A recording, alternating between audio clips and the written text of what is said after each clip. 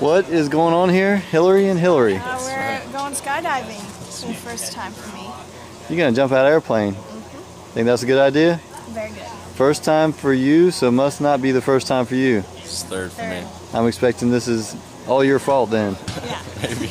All right. You got anybody back at home you want to say hi to? Uh, shout out to Rock. I bet he does. It's his dog.